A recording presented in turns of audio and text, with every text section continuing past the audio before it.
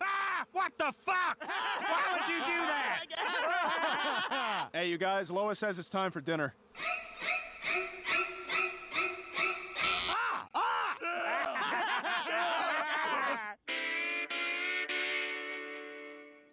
Peter, this is not safe at all. Shut up, Brian. Just keep filming. Okay, I'm Peter Griffin, and I am the greatest American hero. My special power is being somehow memorable after a very short run on TV.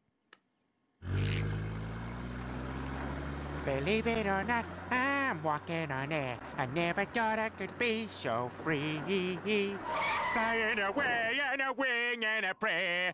Who could it be? Could it be? Believe it or not, it's just.